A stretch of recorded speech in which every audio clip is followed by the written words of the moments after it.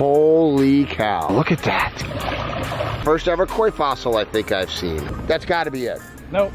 Love these steps through it. Ed, have we seen all the water features now? No. Wow, look at this rock. I mean, that rock right there is probably 20,000 pounds. 23,000. And I was 3,000 off. His brother next to it, the twin, 30,000 pounds. Look at this dive rock right here. Wow. I love that rock. All right, where are we off to now? See the Wizard of Oz.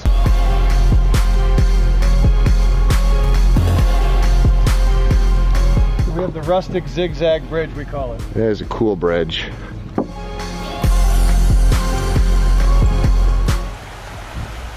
I hear it, and I love this bridge too. My goodness. This is about a 70 foot long pondless. When did you build this? A year and a half ago. Okay. Oh, I love that big stone there.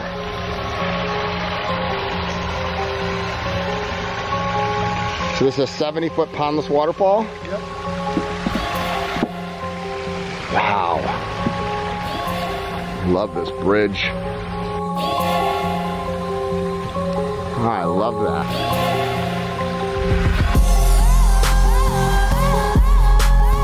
Intake and pump is right here. So once again, AquaBlox down here. Yep. That's a big stone there, buddy.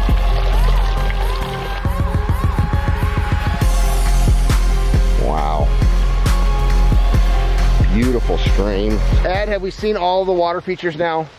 No, there are still yet two, which are the two newest that were built within the past 10 months, Wow. which is on their other property next door. Wait a minute. Other property next door? They've got nine acres here. How much is next door? Seven acres. Why not? Seven more acres next door. It's an anthill of contractors at the moment. We're trying to get it all together for the daughter's wedding, but we're working real hard as a team and we're getting it done. Awesome. Did you put that rock there? Yep. Imagine that. This piece of lawn used to just continue sloping down, but we brought in 5,000 yards of soil and created a mountain. But what it does is it gives you the third tee box. More funky, cool art. And then here's the tee off, huh?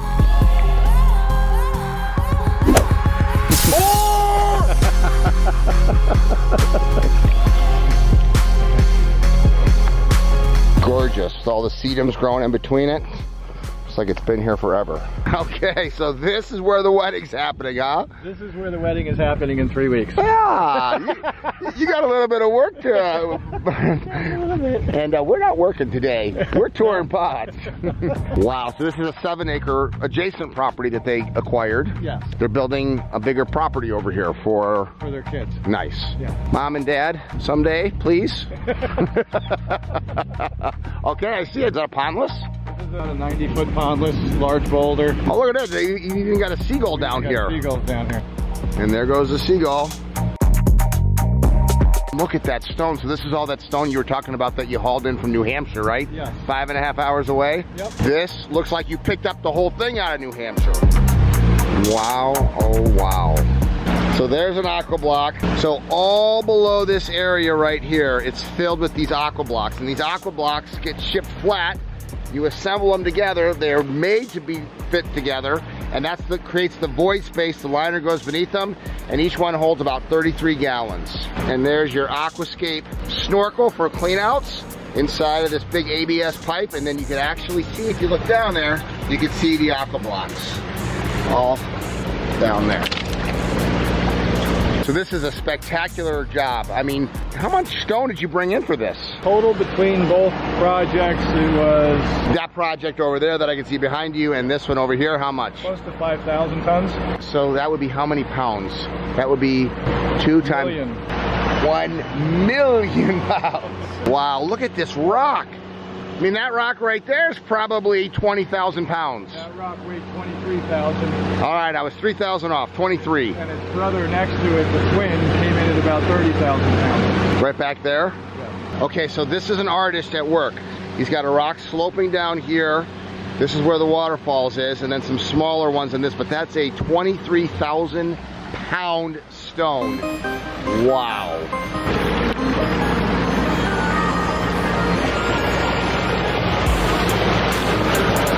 Plants growing right beneath the waterfalls.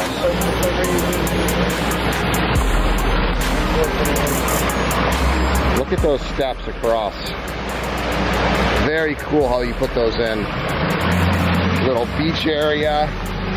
The sedums growing right where the water is.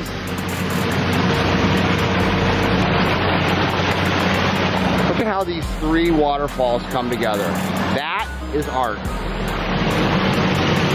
John Frost built that. Okay, so another certified aquascape contractor that you brought in. What were the contractors that were actually on here, Ed? We had Charlie Holland, Chester Hollow. Chester Hollow Water Gardens, Jack Haryu This is my favorite waterfall this year. from Atlantis Water Gardens, John and April. Oh. Here we're just taking little pieces of slate, fitting them in the space and gluing them together. When we get done, it'll look like a little wall. Ralph Bezad from Arizona, and Alan Decker from Decker's Pond. Wow. So on big projects like this, you're a one-man band. Yep. You bring in fellow certified aquascape contractors. You pay them a day rate, and you work together on something. So you project manage. Yes. Wow. And you got a new, cool bridge here. What's underneath this is a Wetland. wetland filter. Makes sense. So explain how that works. So the water gets pumped up from the vault system down below. And down below, comes up through here. for two pipes, we have two pumps running this. We have a 17,000 and a 10. Wow. And that's the view from those windows into this. So were they happy? Oh, ecstatic. And this was the second project we did. The first project is over there. Let's Take go see that.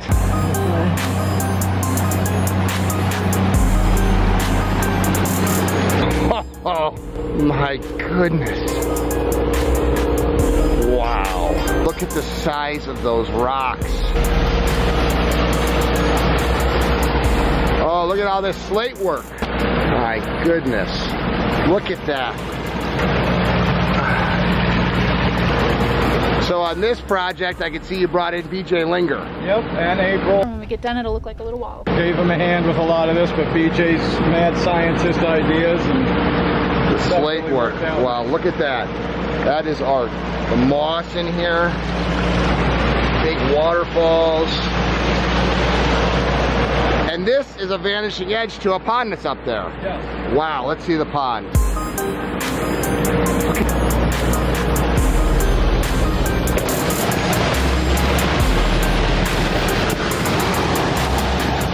Oh my. So they wanted a recreation pond Yeah. and you gave it to them. No swimming pool. They didn't want a swimming traditional swimming pool. Look at this dive rock right here. Wow. I love that rock that you flipped upside down there. Um, it's a 20 by 40 wetland filter.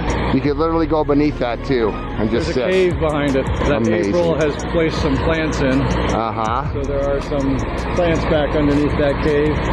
And Jack Haryu's hat. Oh yeah? What's the story there? Big straw hat that he always used to wear. Uh-huh. Disintegrated on this job.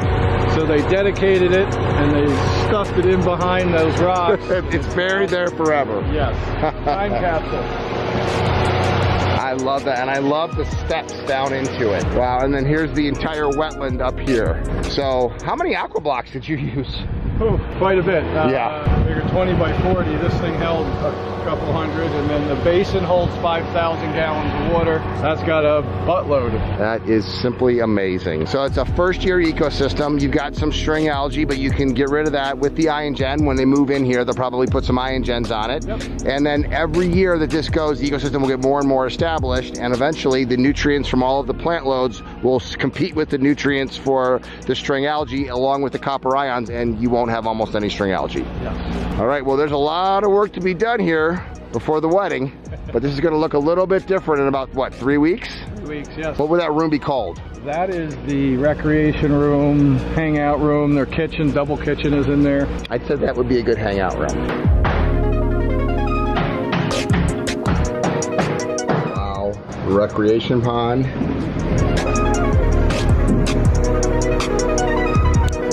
Three weeks. Rock work everywhere. And look at this incredible slate work. This is uh, one of the signatures. Just spectacular. There are some very unique pieces to this that nobody really knows. But Okay. light that hangs up underneath here Uh-huh. that shines down. Back here there's a piece of plexiglass Oh, wow. that there's a light inside there. Yes. So this will glow at night, so you can sit here, put your drink, and Ah, okay. is this a fire? this is a fireball. Oh, that's hilarious. That is awesome. April, April Dugan. did this? Uh-huh. these special tops where she drilled in Uh-huh. little pieces on, made these tops. It's the art. It's the art.